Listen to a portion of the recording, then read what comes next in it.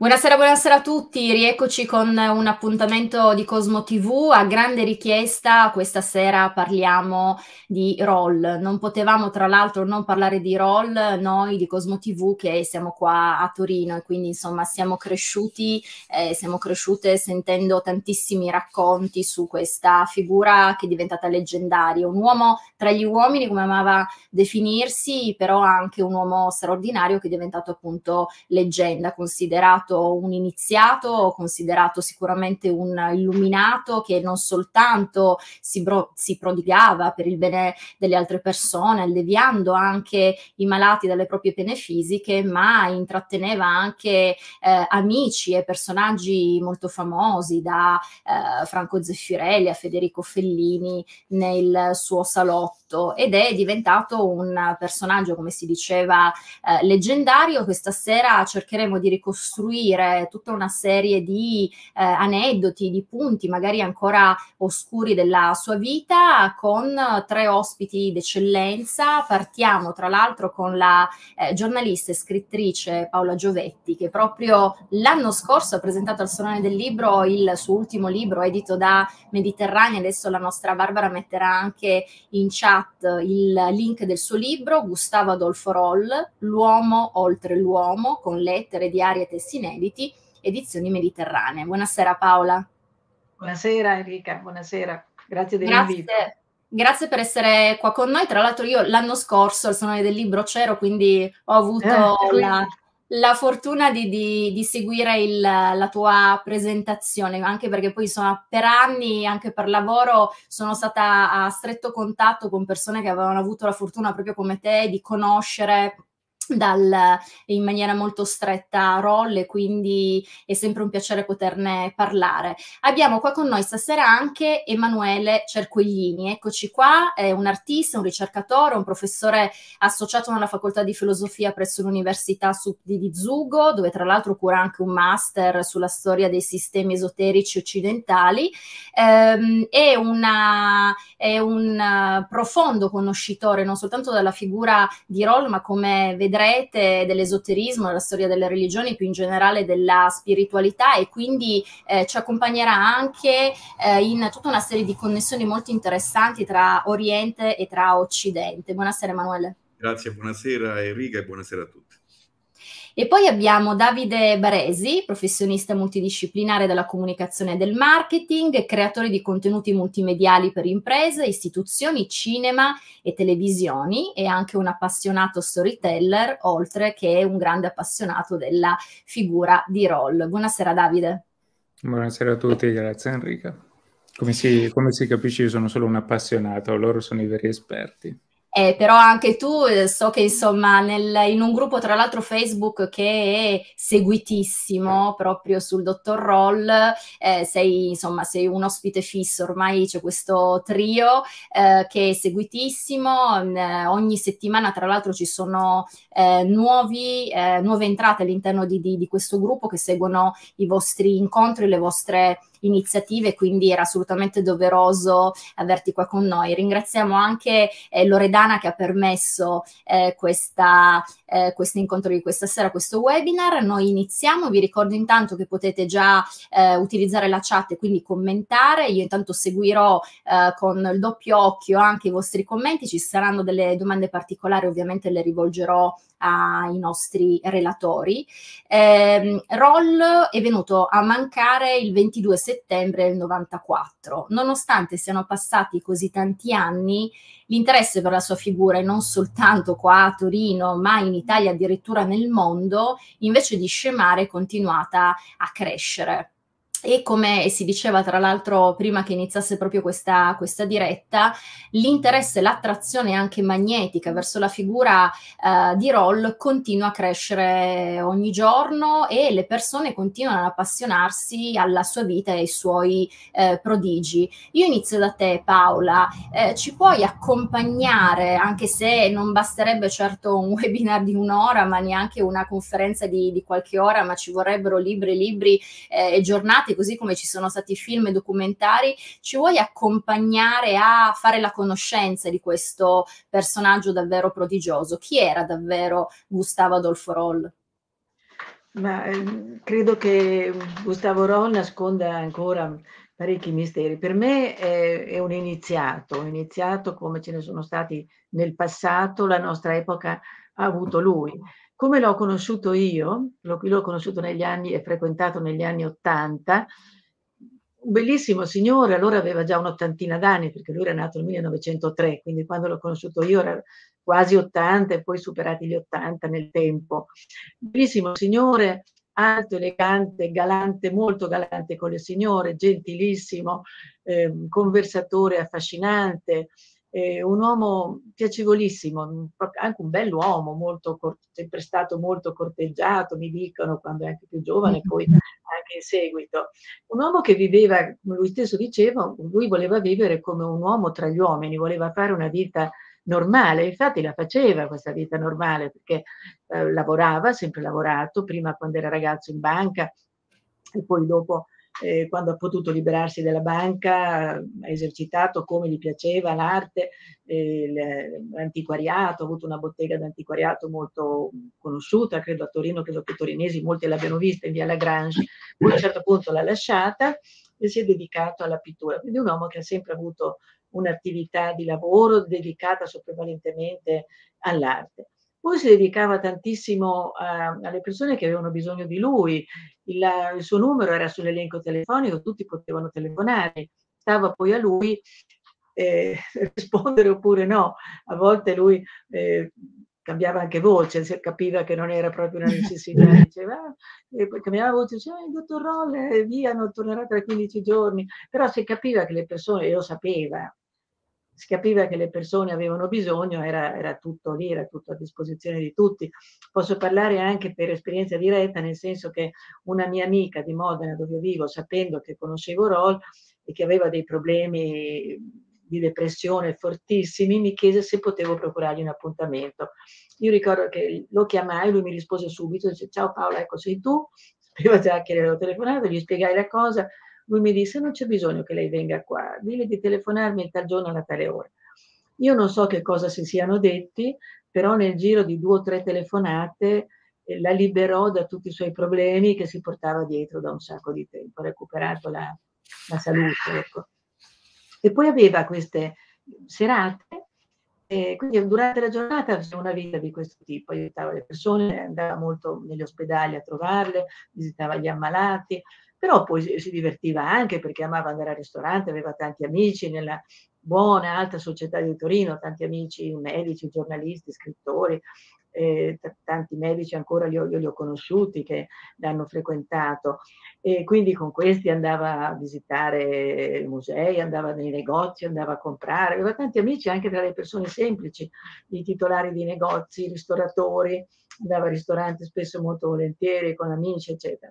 E poi la sera, alcune sere alla settimana, lui si trovava eh, in casa sua o in casa di amici. Io sono stata sia, l'ho incontrato sia in casa di amici, in particolare di Remo Lugli, giornalista della stampa che me lo fece conoscere, sia a casa di Roll. E lì lui faceva queste straordinarie serate che erano veramente indimenticabili. Ecco, lui evidentemente aveva dentro di sé questa sorta di meraviglioso che urgeva di manifestarsi, perché lui aveva bisogno di di far vedere, di manifestare a un gruppo armonioso di persone. Se il gruppo non era armonioso, lui non partiva neanche. Io ricordo eh, ogni volta che sono partecipato a una sua serata, le serate cominciavano sempre con un momento in salotto dove si chiacchierava dove veniva offerto um, qualche dolce, però diceva di se stesso di essere molto goloso ed è questo è vero, l'ho notato che lui amava molto mangiare dolci, i gelati gli piacevano molto, si beveva un bicchiere di spumante, si chiacchierava piacevolmente, lui guidava la conversazione perché era un conversatore affascinante, molto brillante, molto effervescente, allegro, piacevolissimo, e poi quando sentiva che l'atmosfera era quella giusta, che tutti erano in buona armonia, diceva allora andiamo, andiamo al tavolo. E c'era sempre un tavolo pronto con il tappeto verde sopra, le carte che erano un elemento indispensabile di qualunque fenomeno lui eh, volesse fare, c'era sempre, quasi sempre un ruolo per le carte. Ecco, due o tre sere alla settimana c'erano questi fuochi di artificio straordinari. E lui però non si non attribuì mai a se stesso lui attribuiva sempre tutto quello che produceva a una dimensione superiore, della quale lui era il tramite. Io ho pubblicato nel mio libro anche una sorta di testamento spirituale eh, che lui negli anni 70 scrisse con la scrittura automatica, eh, ispirato dal suo stesso spirito intelligente, cioè dall'anima che era dentro di lui.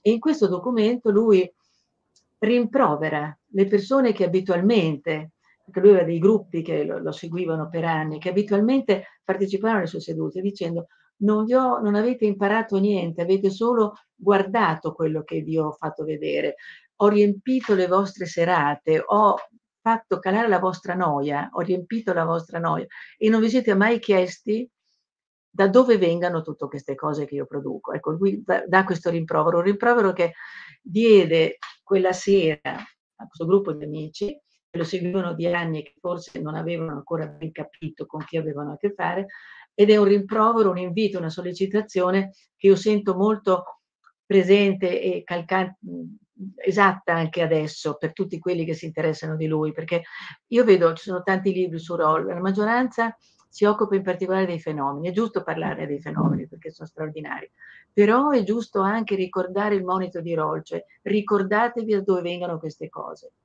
Lui diceva sempre, paragonava se stesso a una grondaia, diceva, sono come la grondaia che convoglia l'acqua che viene dal cielo, che cade dal cielo. Dice, ma non è la grondaia che bisogna esaminare, è l'acqua. E quindi lui diceva sempre, non dovete pensare a me, pensate da dove viene questa energia.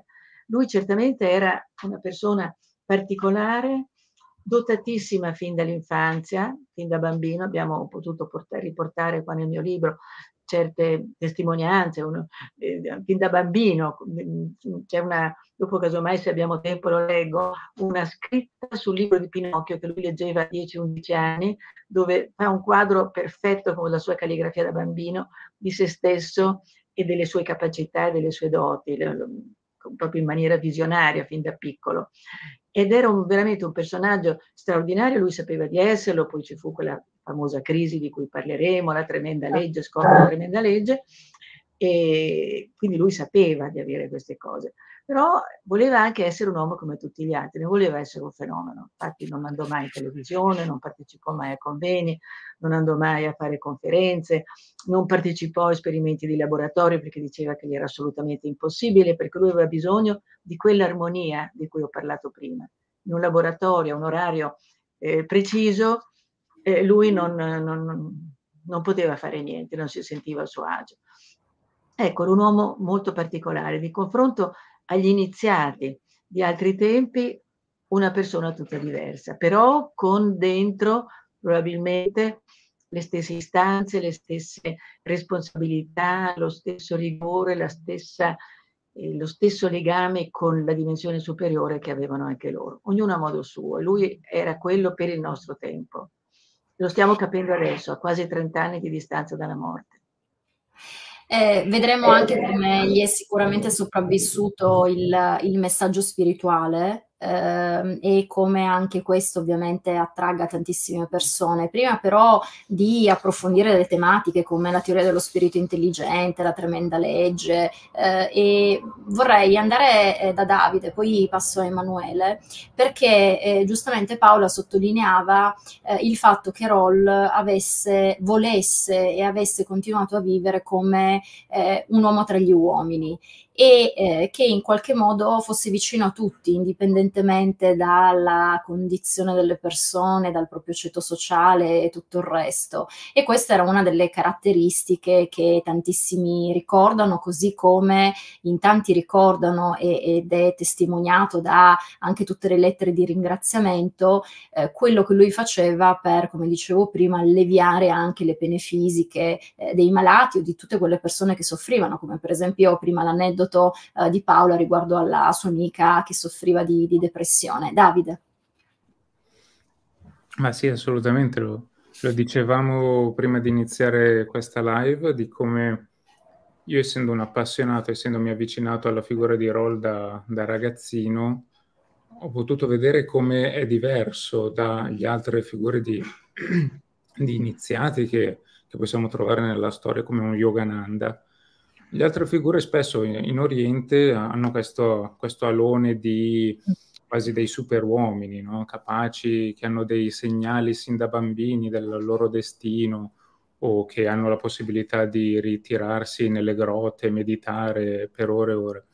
Ecco, noi non sappiamo Roll come abbia uh, raggiunto questo stato di illuminato, probabilmente ci sono delle somiglianze, però la cosa molto interessante per una persona qualunque come posso essere io è che c'è questa possibilità quasi di averlo vicino. Questo, come diceva Paola, l'essere un uomo tra gli uomini, no? Quindi non è questa figura quasi timo- di, che ti incute timore di un semidio, ma di una persona con tutte le sue problematiche, le, tutte le sue peculiarità da essere umano. Una cosa molto simpatica è che appunto lui, pur essendo, pur avendo raggiunto queste dimensioni straordinarie dell'essere umano, poi magari quasi in stile gossip, il matrimonio andava bene ma aveva i suoi problemi, piuttosto che come una persona qualunque, fino a quando il padre era vivo, era costretto a lavorare o si costringeva a lavorare nelle banche, come ricordava, come ricordava Paolo, no? mentre invece una volta morto il padre si sente libero di dare libero sfogo alla sua passione per l'arte e per l'antiquariato. Ecco, tutti questi elementi, o come ricordavi te Enrica, il fatto che si dedicasse tantissimo al prossimo. Chi lo ha seguito spesso come autista negli ultimi, negli ultimi decenni della sua vita riporta quante volte andasse negli ospedali a, ad aiutare, a dare una mano, o anche per strada. Quindi c'è davvero questa figura quasi di un, quasi di un fratello maggiore, mi viene da dire, di, di averlo molto vicino piuttosto che le altre figure di iniziati che possono incutere timore con delle capacità o delle, o delle particolari storie di vita. Ecco. E anche in qualche modo allontanare quando si crea la figura del guru, mentre invece lui faceva esattamente il contrario. Eh, Emanuele invece... Scusa se ti interrompo per un attimo. Lui diceva, io sono pigro, goloso e birichino, diceva di se stesso. Allora, pigro io non credo perché non ci credo tanto perché ha sempre lavorato, è sempre stato molto attivo. Goloso sì, goloso sì perché l'ho visto mangiare i dolci con molto piacere. E birichino riguarda lui, questo era un, un suo riferimento eh, ai suoi rapporti con le donne, una cosa sua, che, anche in questo un uomo come tutti gli altri. Ecco. Certo. Allora, invece per quanto riguarda, diciamo, tutta una serie anche di aneddoti eh, sulla sua figura, verrei a te Emanuele perché eh, al di là delle, eh, dei fenomeni di tutte anche queste serate dove intratteneva anche personaggi, insomma, importanti del jet set del, del periodo, ci sono tutta una serie appunto di aneddoti come per esempio eh, delle vere e proprie forme di precognizione, addirittura di predizione crociata Kroll eh, faceva. Tu, Emanuele, tra l'altro ne hai parlato in un tuo libro L'atto magico, vorrei sentire proprio da te eh, qualche aneddoto su questo, che ci possa anche aiutare a capire eh, quali erano le capacità eh, di Roll a 360 gradi, perché molto spesso eh, le persone che non lo conoscono bene eh, tendono a derubricare il tutto a delle capacità quasi più da illusionista, mentalista o altro, mentre invece non era quello come non non era un sensitivo, un mago, ma era, come voi continuate a sottolineare, un iniziato, un illuminato, quindi una persona che a 360 gradi, facendo da grondaia, da medium per il mondo dello spirito, riusciva a veramente sconvolgere le persone che aveva eh, di fronte proprio perché riusciva ad aprirsi come un portale con l'altro mondo. Ma infatti, guarda, dovremmo parlare dello scetticismo drammatico dei preclusi alle meraviglie del mondo spirituale, cosa che Roll ha cercato in tutto il corso della sua vita in qualche modo di disarmare questa, questa difesa razionale e positivista, no? che in qualche modo viene principalmente indotta dalla società eh, in cui viviamo. Eh, un aspetto molto interessante eh, da questo punto di vista è quello che accadde nel 1949 a Cap d'Antibes, eh, in questo hotel meraviglioso frequentato eh, da politici, da star di Hollywood, da, da principi, dove Roll fu ospite in una vacanza che definì la giornalista Laura Bergagna quasi un viaggio nel paese delle meraviglie, in Wonderland, no? Perché praticamente si trovò uh, fianco a fianco con Gustavo Roll serate e giornate straordinarie passate insieme, stupendo eh, gli astanti e gli ospiti di, quella, di quell'albergo. Diciamo che un aspetto che va sottolineato è che Gustavo Roll, per rompere questa barriera, cominciava ogni serata delle sue serate con questi giochi di carte che lui definiva delle aste, una sorta di entratura per capire poi come poter spingersi oltre, anche perché in alcuni momenti della sua vita quella spinta potente, no, anche giovanilista in qualche modo, lo aveva portato a traumatizzare alcuni degli astanti e quindi poi a moderarsi maggiormente, a fare considerazioni anche in base a quella che poteva essere la levatura spirituale della persona che aveva davanti, per non, proprio per non mettere in una situazione di disagio totale, perché quello che poteva fare Gustavo Roll, chi è interessato può vedere un sito creato proprio da Franco Roll che parla delle famose 49 facoltà, che non sono dei poteri, sono delle facoltà, un termine, un termine molto, molto differente, ma che vanno a compiere quello che è il totale raggiungimento del potenziale, del potenziale umano compiuto da un illuminato, perché quando parliamo di Gustavo Roll, come, hai sottolineato tu, Paola, come sa anche Davide, tutti i veri eh, studiosi di Gustavo Roll, stiamo parlando di un illuminato, cioè di quella figura umana che in questo viaggio terreno, eh, riuscendo a raggiungere la sua illuminazione, il punto più alto dell'evoluzione umana, diventa una guida per tutti gli altri. Una guida che non è detto che debba mostrarsi, perché molto spesso i maestri spirituali si rivelano a chi li cerca e non è che sponsorizzano. Nella sponsorizzazione spesso si entra poi nella ciarlataneria. Ecco e questo è tutto ciò che è distante da Gustavo Roll, come anche le figure che non è che vanno sminuiti i termini mago, medium, assolutamente, ma bisogna fare una differenziazione. Cioè il mago, se lo vediamo, nel mondo antico è l'unione tra il cielo e la terra, il magus, cioè la persona più potente sulla terra che può unirsi in qualche modo al divino ma l'accezione che noi abbiamo dato nella contemporaneità e nella modernità ovviamente è svilente, erroneamente svilente da certi punti di vista. Lo stesso vale per medium, perché le facoltà medianiche sono comunque un approccio, un primo passo personale, naturale o in qualche modo che può essere anche sviluppato e accelerato come facoltà psichiche, ma Gustavo Roll era molto molto altro. Per tornare a, al 1949, io voglio parlare di questi accadimenti perché in quel momento un rol poco più che quarantenne nel massimo del suo potenziale, della sua, diciamo, della sua maturità di non più giovane uomo ma di adulto, eh, non era ancora conosciuto al grande pubblico, attenzione, ma era già una leggenda. Si vociferava, si parlava delle grandiosi doti, delle grandiose facoltà di Gustavo Roll e di quello che lui faceva per gli altri. Quindi il suo nome era già conosciutissimo, ma non era mai uscito sulla stampa. Che cosa accadde in, quella, in quel tragico giorno, in quelle tragiche notti che accompagnarono poi il giorno dell'incidente che coinvolse il conte Cini uh, nell'aeroporto privato La Bocca vicino a, a Cap d'Antibes? Praticamente eh, Gustavo Roll intratteneva i suoi ospiti insieme a questa giovane giornalista della stampa, allora credo 23 o 24enne eh, Laura Bergagna, che partì in vacanza con Gustavo Roll perché lei era solita andare d'estate eh, in vacanza all'estero per migliorare le lingue straniere. Avendo conosciuto Roll poche settimane prima in una circostanza anche molto divertente, nella quale lei è scesa dal quotidiano La Stampa per fare il solito aperitivo, viene chiamata eh, per conoscere Gustavo Roll, lei sperava di conoscerlo da molto tempo, e sedendosi con Roll a quel tavolo con tutti gli amici, rimase subito estasiata nonostante andò con la volontà di non voler eh, farsi prendere in giro, quindi con quello scetticismo naturale che abbiamo tutti di fronte a persone che millantano che in realtà hanno delle facoltà straordinarie.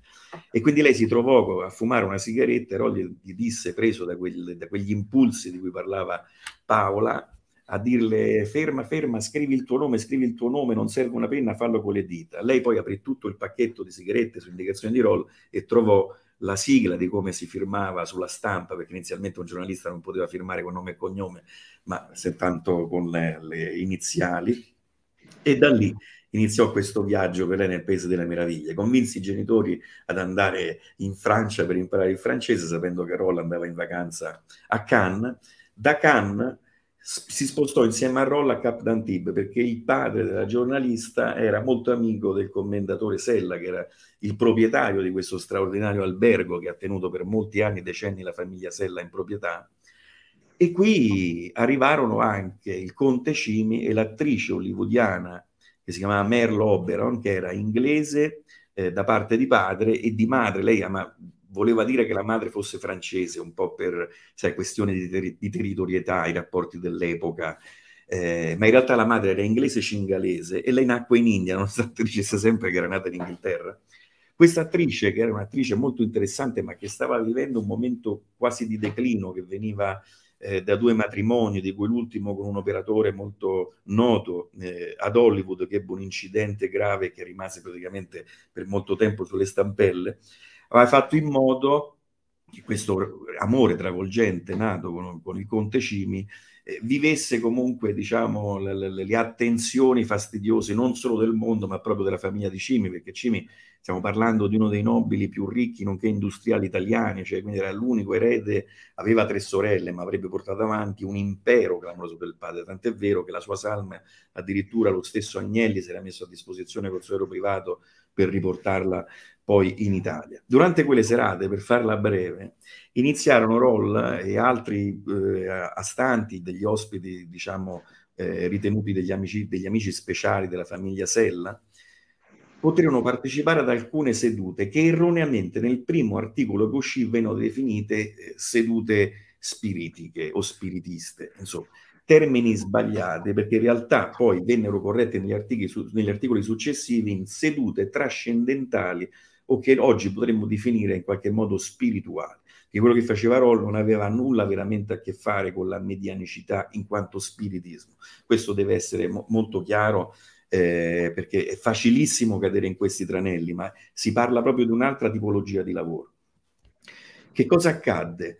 Eh, ci sono varie testimonianze eh, che vengono fatte attraverso quella sera, cioè quella dei presenti ovviamente che viene raccontata in maniera diversa perché ovviamente Gustavo Ro durante il giorno poi parlava con ognuno di loro, ma tutti riportano esattamente quanto segue, e cioè che Roll avvertì dentro di te una sensazione di bruciato. E attenzione anche a questo termine, eh, perché quando parliamo di illuminato parliamo di sensazione, che non è quindi un rapporto visivo, cioè ho avuto una visione, o piuttosto ho avvertito un odore, quindi olfattivo, ma parliamo di una sensazione che quindi coinvolge la totalità dei sensi. E qui si rientra in quel discorso di sviluppo dei sensi interiori che molte tradizioni iniziatiche in qualche modo offrono alla visione dell'adepto per il suo percorso di iniziazione.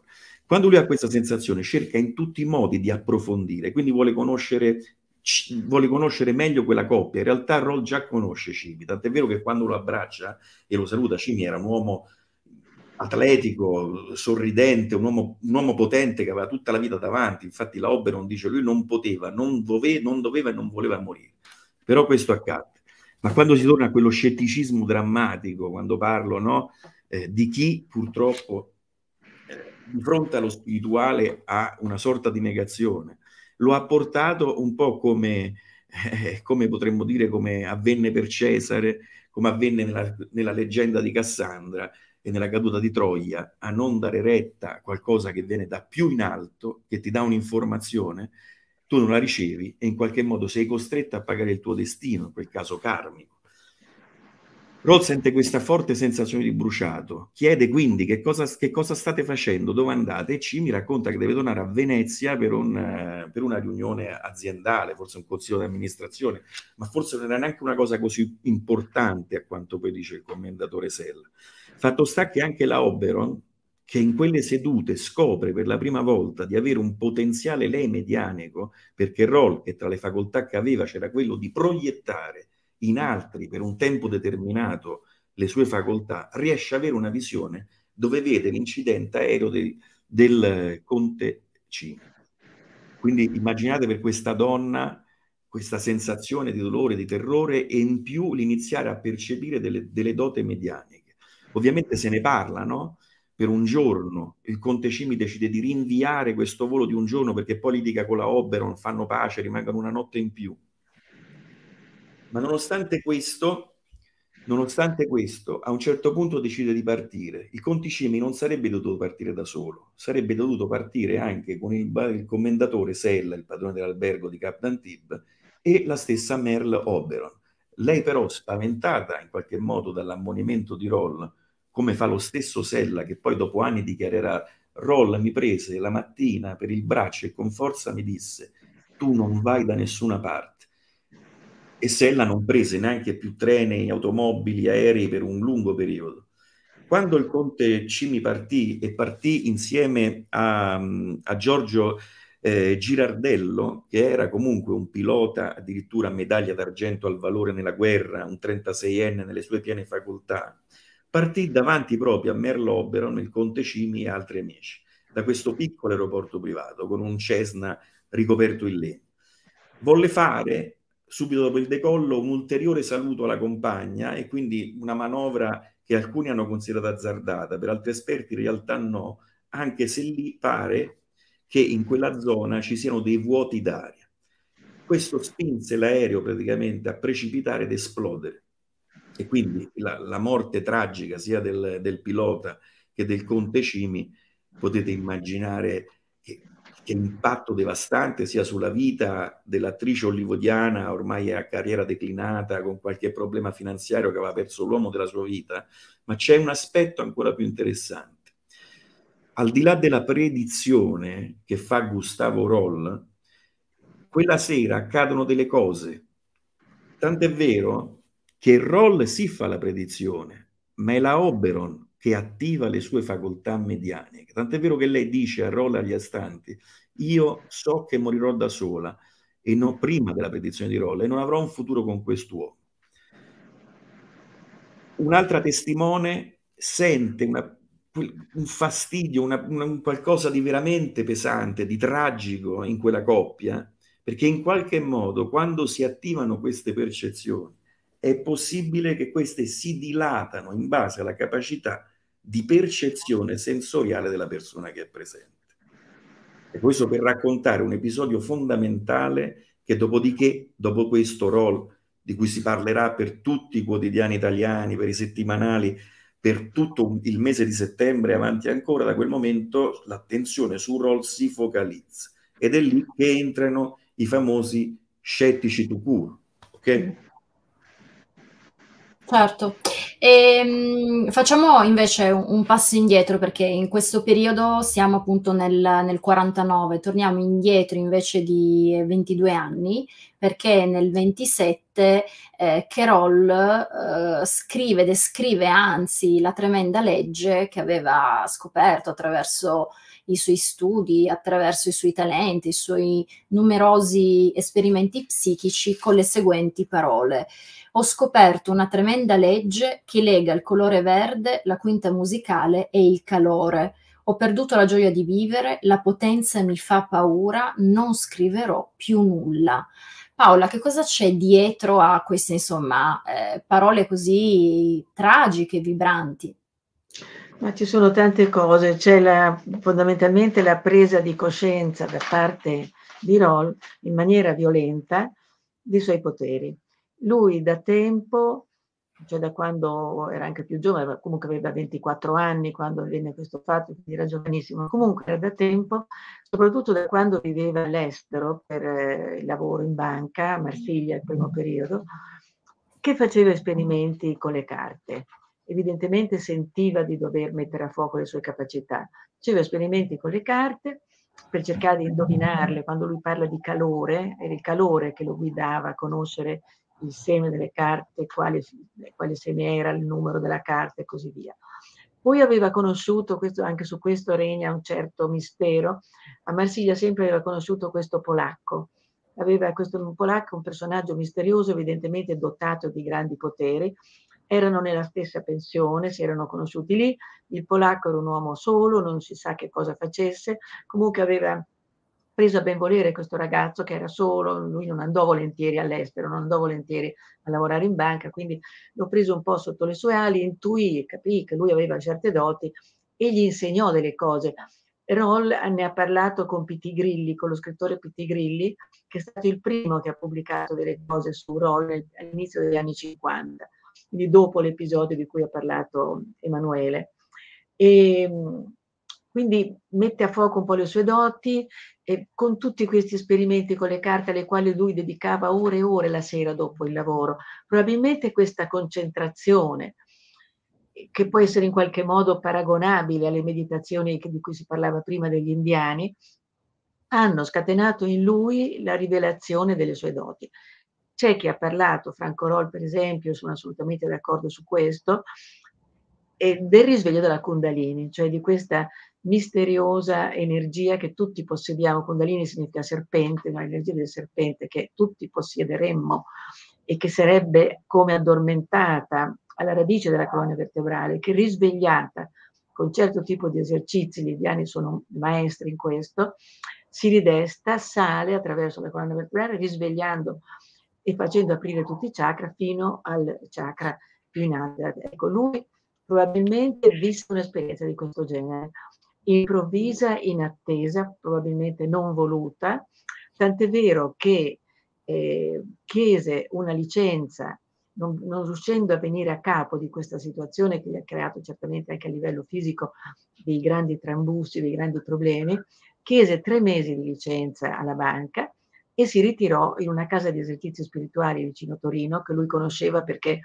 andava lì quando era ragazzino per prepararsi ai sacramenti, e si chiuse lì cercando questo padre Righini che aveva conosciuto, sperando che gli spiegassero che cosa era successo, che cosa gli era successo. Teniamo presente che questo chiudersi per tre mesi in una casa di esercizi spirituali avviene in un momento per lui particolarissimo. Io ho fatto un po' di conti. Lui da poco, si era trasferito a Parigi nel frattempo, aveva conosciuto in un, in un bistrò, in un caffè, quella che poi diventò sua moglie.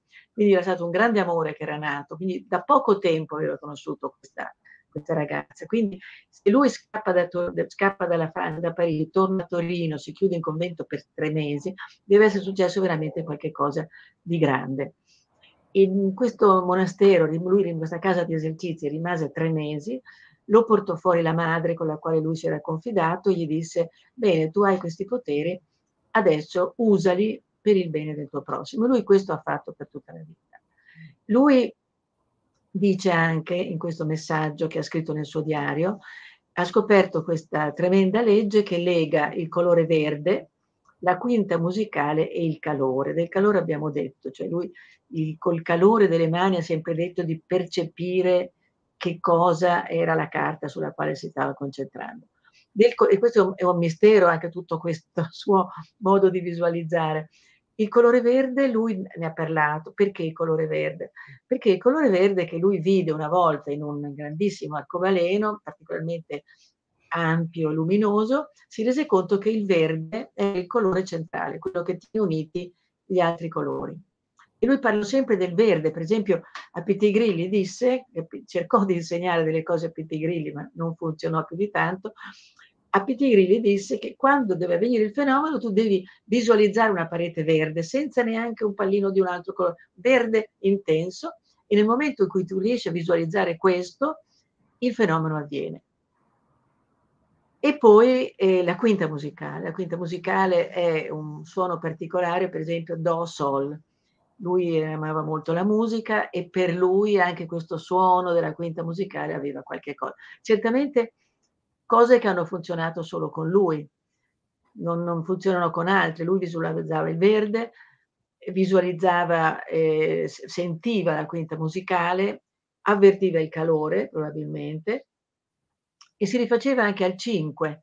C'è anche il 5 che rientra in questa trilogia, eh, che è diventata una di quattro a questo punto, sono diventati quattro elementi.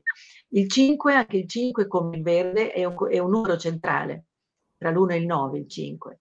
E mi dicono, per esempio, che i primi anni, quando avveniva il fenomeno, la lettura, il libro chiuso, la pittura diretta, queste cose qua, lui gridava in francese Je suis le numero 5.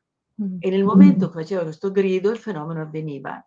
Quindi lui aveva questi punti di riferimento, questi simboli, io li posso chiamare così, che valevano naturalmente soltanto per lui e che gli sono eh, serviti e che ha cercato di, di spiegare. Quello che è certo che ebbe questa, questa, questa, come posso chiamarla, questa rivelazione traumatica. Io ho paragonato nel mio libro quello che Roll ha detto di se stesso, perché poi negli anni ne ha parlato con varie persone, dicendo che è stata una cosa veramente terribile, durissima, eccetera.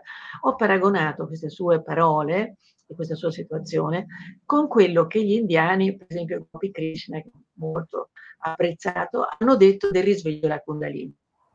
Per loro arrivato dopo lunghi esercizi di meditazione, ore e ore, eccetera, eccetera, è anche ricercato in, certo, in un certo senso. Nel caso di Ron non credo ricercato, non credo. Però gli effetti sono più o meno gli stessi. Quindi probabilmente si è trattato di questo, proprio di un risveglio, di un'illuminazione che l'ha portato a, ad essere poi quello che è stato. Però per accettarsi ci è voluto tanto tempo. Questo avvenne quando lui aveva 24 anni e lui si è accettato veramente, ho potuto accertare grazie ai documenti che ho trovato in archivio a Torino, grazie a tante letture che ho fatto, incontri, eccetera, eccetera, avvenne dopo i 40 anni, l'accettazione piena di se stesso.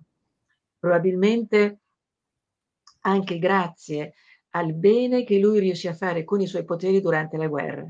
Lui ancora durante la guerra abbiamo dei testi che ne parlano chiaramente, lettere che ha scritto, ancora si interrogava su se stesso, si chiedeva, aveva dei momenti di depressione perché non riusciva a inquadrare se stesso bene durante la guerra. Abbiamo un diario del capitano degli Alpini dove lui parla di queste cose, un altro libro che è stato pubblicato dove lui scrive lettere a una poetessa e si confida moltissimo con lei, pubblicato dopo la sua morte naturalmente perché prima non si poteva pubblicare niente, si confida tanto con lei e parla delle sue crisi, dei suoi dubbi, delle sue depressioni, eccetera, eccetera. Poi durante la guerra succede questo, che lui è eh, sfollato con la sua famiglia a San Secondo di Pinerolo, dove la famiglia Rola aveva questa bella residenza estiva.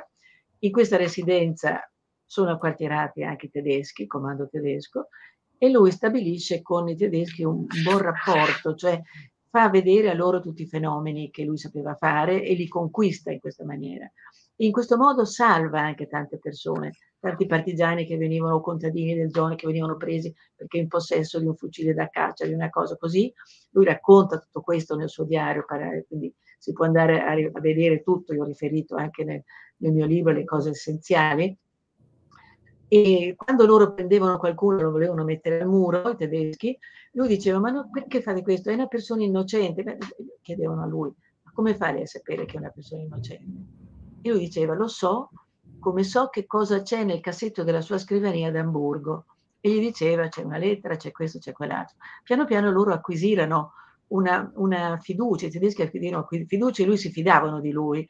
E tant'è vero che lui, sempre in questo diario del capitano degli Alpini, si trovano delle espressioni molto discrete, perché lui non si vantò mai, ma diceva solo io so quanto ho lavorato, solo io so quello che ho dovuto fare quella notte per strappargli quella persona da, dalla, dalla, morte. Quindi, allora io mi sono fatta l'idea che questi riconoscimenti che lui ha avuto, pensate che alla fine della guerra il sindaco di San Secondo di Pinerolo ha rilasciato un documento ufficiale che io ho riprodotto nel mio libro, dove ringrazia Roll per il grande coraggio che ha avuto, perché non era una posizione facile la sua, intermediario con il comando tedesco, volendo salvare le persone, ricorrendo a volte anche a dei, eh, diciamo, degli escamotage molto particolari che ho narrato, che sarebbe anche un po' lungo da dire. Quindi questa posizione difficile viene ringraziato ufficialmente per aver salvato tante persone. Io mi sono fatta l'idea che lui da allora io avevo 40 anni, lui era del 3, quindi alla fine della guerra aveva 42 anni, ha acquisito piena fiducia in sé e ha cominciato veramente a fare uso di queste sue doti apertamente per aiutare, per aiutare la gente. E certamente lo faceva già da tempo, quando avvenne il famoso episodio del Conte Gini che abbiamo narrato, l'opinione pubblica era anche pronta, diciamo, cioè si sapeva che lui era un personaggio particolare, però allora cominciarono a parlarne tutti i giornali, e quindi poi ci furono gli scritti di, di Pitti Grilli ed è cominciata così la grande, eh, chiamiamola la, la, carriera, non è una carriera, ma insomma l'iter, l'iter di Roy, che poi se ci pensate dalla guerra, gli anni della guerra fino a quando lui è mancato sono stati 50 anni di attività, di questa vita particolare che lui ha condotto aiutando le persone, andando in archivio e avendo accesso ai suoi diari giovanili, alle sue lettere, 2000 lettere sono state depositate in archivio, scritte da Roll e moltissime ricevute da Roll.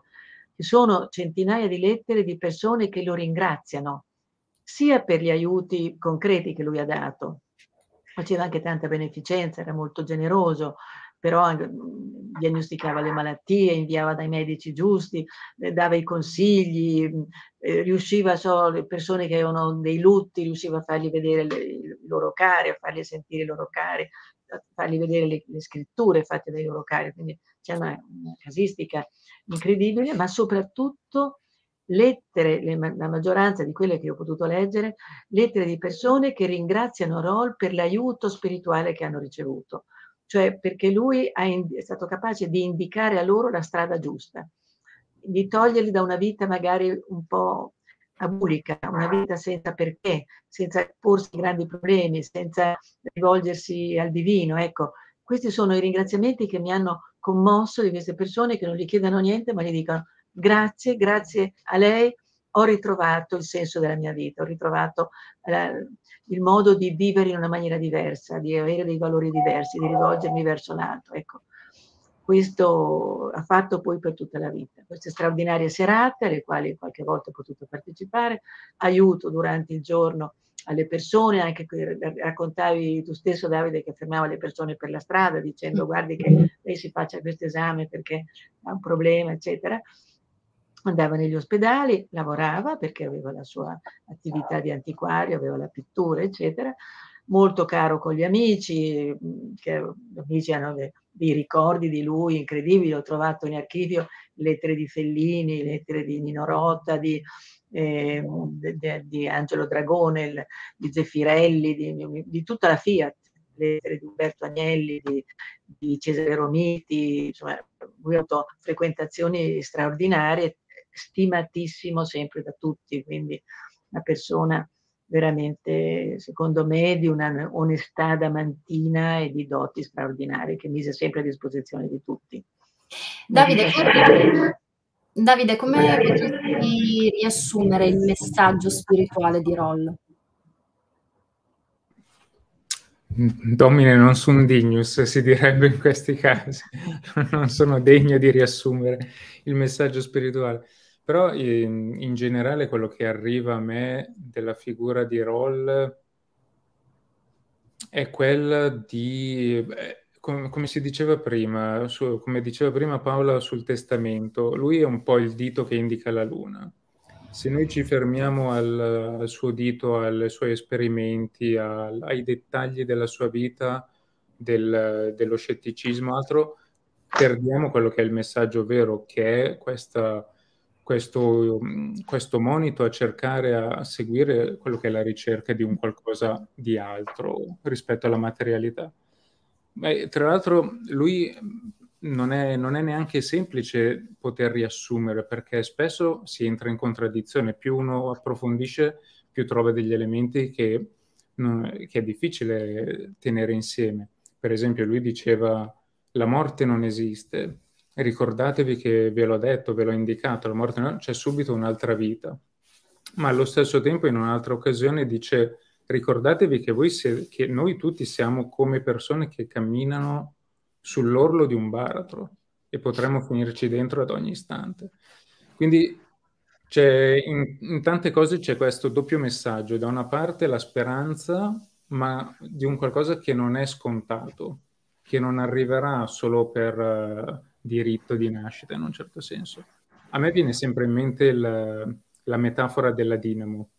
Così come la dinamo è quel meccanismo sulla bicicletta che permette di generare una luce, allo stesso modo l'essere umano se fa determin- determinate cose, se tiene un certo comportamento, se si impegna in, un certo, in una certa direzione, riuscirà a generare qualcosa da un meccanismo meccanico un qualcosa che perdurerà, un qualcosa che avrà dei riscontri poi anche dopo, dopo la morte del corpo.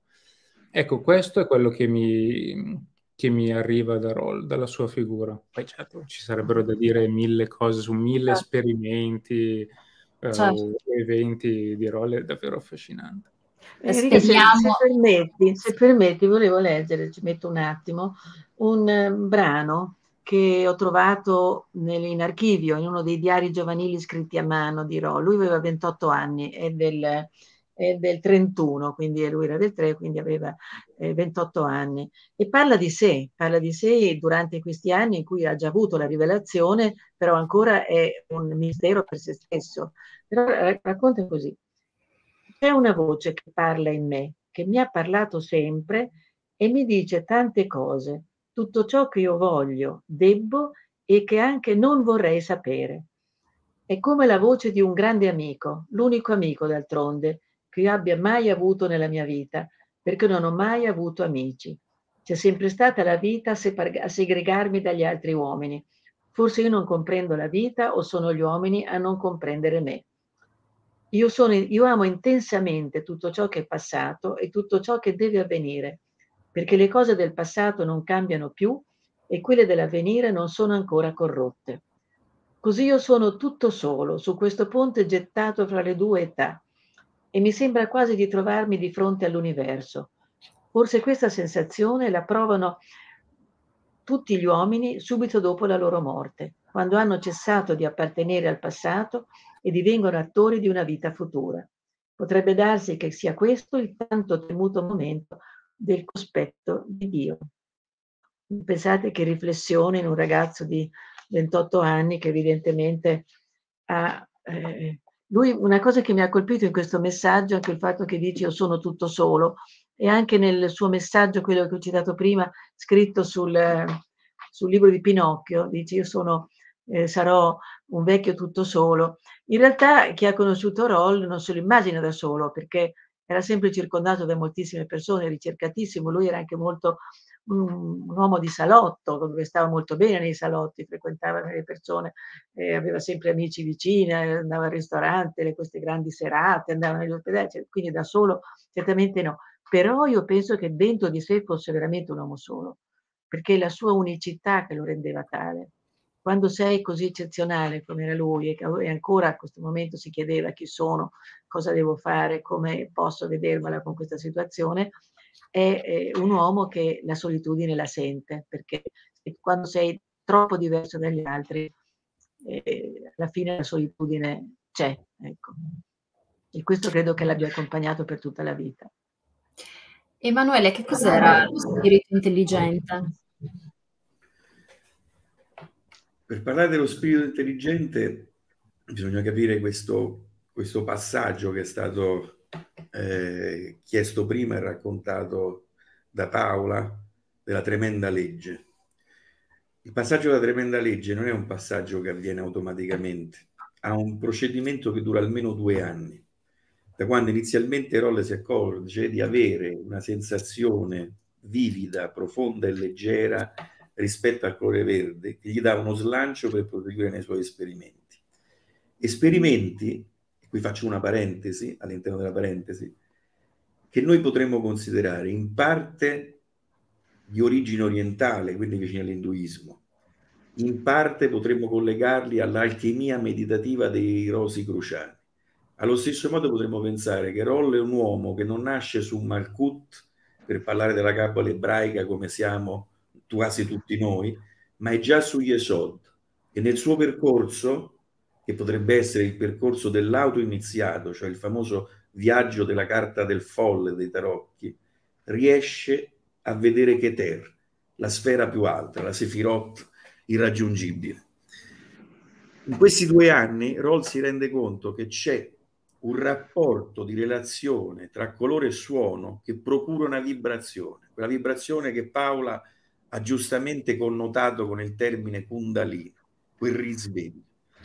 Lo spirito intelligente che viene in qualche modo chiamato da Roll a sostegno dei suoi esperimenti o per manifestazione involontaria o per quell'impulso che lo portava alla comunicazione e quella traccia finale che resta della nostra vita e che si mantiene in attività intelligente e operativa nel massimo del suo potenziale terreno dopo la morte e resiste fino a quando è ricordato, altrimenti è costretto, come tutto, a trasformarsi, a mutare, a dissolversi, a diventare qualcos'altro, ben diverso dall'anima e intelligente è questo termine affidato a Roll perché riguarda l'umano, perché lui sottolineava che tutto è spirito, anche la materia è spirito, ma quello dell'uomo è uno spirito intelligente. Perfetto. Eh, Davide, tra l'altro, eh, torniamo mh, a, sempre a San Secondo di Pinerolo, perché prima Paola ne parlava riguardo proprio alla, alla casa, alla dimora del, dei genitori della famiglia di, di Roll. Ci sarà un'importante iniziativa per il 120 anniversario della nascita eh, di Roll, che ricordiamo Roll era nato a Torino il 20 giugno del 1903 e ci sarà anche il premio Gustavo Roll. Ce ne parli, Davide? Sì, c'è questo bellissimo premio che è stato, è stato messo in atto quest'anno e in pratica per opere d'arte o poesia, per tutte queste es- espressioni, pittura, c'è questo premio Gustavo Roll che appunto, come dicevi, col patrocinio del, San, del comune di San Secondo di Penerolo metterà in palio questi, questi riconoscimenti. La nostra, la nostra amica, la nostra amica Loredana è stata eh, è dentro questo, il comitato che ha promosso questa iniziativa, questa bellissima iniziativa, e quindi potremo poi, immagino, dare ulteriori informazioni per chi fosse interessato o anche sul gruppo Gustavo Roll, eh, sul gruppo Facebook Gustavo Roll, potrete benissimo trovare tutte le altre informazioni. Quindi per rimanere aggiornati rimandiamo la pagina al gruppo di, di Facebook o c'è anche sì. un sito? Ok. Assolutamente sì. Ok. Sul gruppo poi trovate tutte le, tutte le informazioni. Emanuele, eh, invece c'è anche il museo eh, dedicato a Roll, tra l'altro è anche un museo virtuale dove si può compiere un viaggio in, interattivo e c'è anche un, un sito assolutamente sì, tutte queste iniziative eccezionali che hanno avuto, eh, diciamo, una loro materializzazione negli ultimi anni sono dovute all'impegno di tutte quelle persone che non solo hanno conosciuto Roll, ma hanno, lo hanno amato eh, e compreso. E ne hanno capito l'importanza storica di questo personaggio che troppe volte nei nostri, diciamo, media mainstream è stato raccontato in maniera banale, superficiale e denigratoria da persone che io considero, guarda, perdonami il termine, ma sono dei deficienti spirituali profondamente ignoranti che fanno del loro scetticismo la barriera ai loro timori più profondi. Sono persone non pronte e che avranno bisogno di ancora molte esperienze per riuscire a poter comprendere cosa si cela di meraviglioso dietro una figura come quella dell'illuminato Gustavo Roll di Torino. Quindi io veramente, tra altre cose, non sono ancora potuto andare al museo, ma è la prima cosa che farò la prossima volta che, che andrò a Torino, dove sono solito comunque andare a via Silvio Pellico e fermarmi ah. al 31 per cercare di, di, rievocare in me quale sarebbero potute essere le sensazioni di tutte le persone che varcavano quella solita, perché si trattava di un varcare una solita. Era esattamente questo, andare in quell'appartamento. Paola, invece, tra l'altro tu Paola sarai proprio qua a Torino eh, la, la, prossima settimana. Sì. Al... Okay. Sì, c'è questa iniziativa per parlare di roll. Io sarò confrontata con ehm, altri studiosi, in particolare con l'ingegnere Antonio Manzalini, che dal punto di vista della scienza si confronterà con la figura di Roll su come eh, siano dal punto di vista scientifico spiegabili i fenomeni che lui produceva, che veramente dal punto di vista umano non si sa come spiegare. Ma rifacendomi a quello che diceva Emanuele prima, io ho sempre notato che le persone più aggressive nei confronti di Roll così, critiche, ipercritiche, sono persone che non l'hanno mai conosciuto, che non l'hanno mai incontrato, perché io credo che chi ha avuto la fortuna di incontrarlo, di assistere anche solo qualche volta sua, alle sue serate, ai suoi fenomeni e parlare con lui, dubbi non ne possa avere, assolutamente, sia anche per la modalità con cui tutto questo avveniva. Era modalità, io ho partecipato a sedute di, di, di medium, di Roberto Secchi del Cerchio Firenze, di Pian Castelli, Fidane, di questi grandi medium del secolo scorso, della fine del secolo scorso, dei primi di questo secolo, ma non, non, non, è che uno sia meglio che uno sia peggio, non era paragonabile a nessuno, ecco, non era paragonabile a nessuno, che tutto avveniva in piena luce, con la massima semplicità, eh, in un attimo, con una leggerezza, una levità, un, un senso di gioia che, che, scaturiva da tutti i presenti di fronte a queste meraviglie che lui sapeva offrire con tanta, con tanta benevolenza, con tanta allegria, ecco, perché c'era sempre una bella atmosfera serena, di come di, lui era, era, felice quando avveniva il fenomeno, lui rideva, era felice, vedevamo tutti insieme, insomma, era veramente una cosa straordinaria vederlo operare con quella leggerezza e sempre con la collaborazione dei presenti.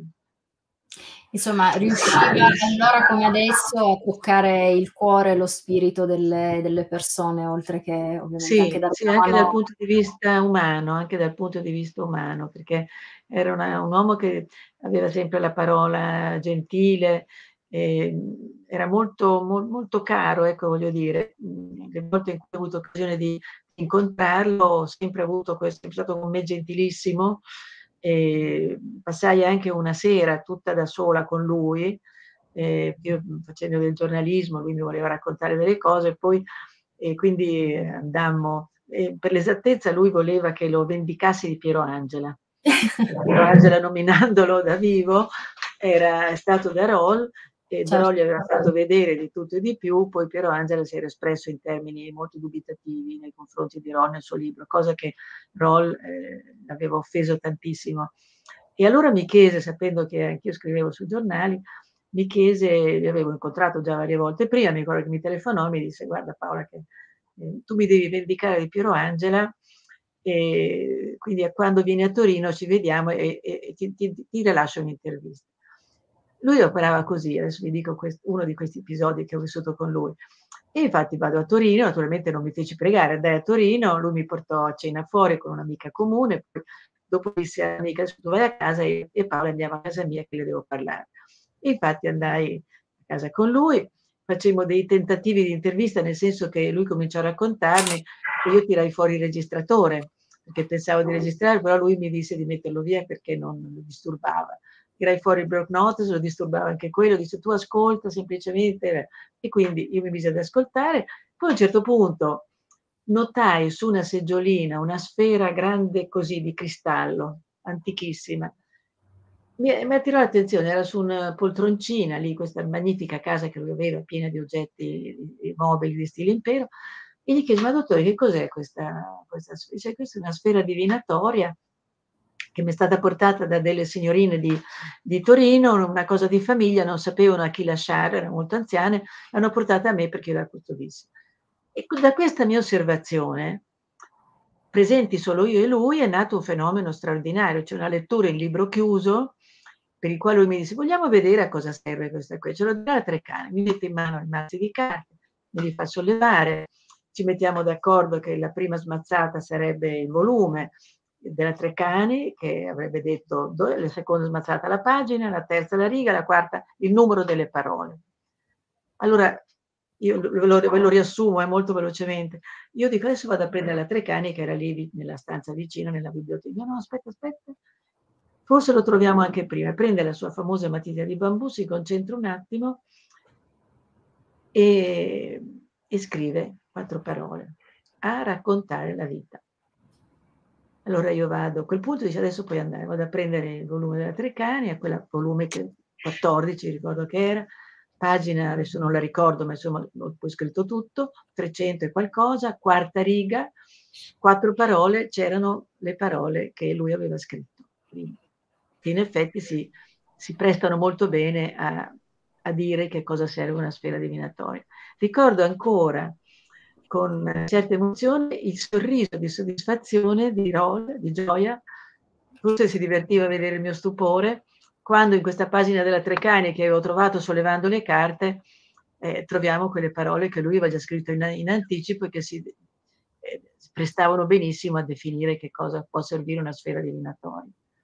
Ecco, lui le cose avvenivano così, senza preparazione. Io capisco benissimo che lui non poteva andare in un laboratorio a quella certa ora e uh, esibirsi eh, di, di, fronte ai ricercatori, magari filmato, fotografato, eccetera. No, non, questo non lo poteva fare, non era lui.